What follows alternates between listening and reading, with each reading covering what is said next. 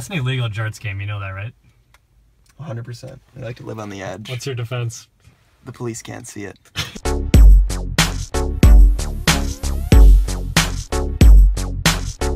What's up guys? We're droning up at High Cliff.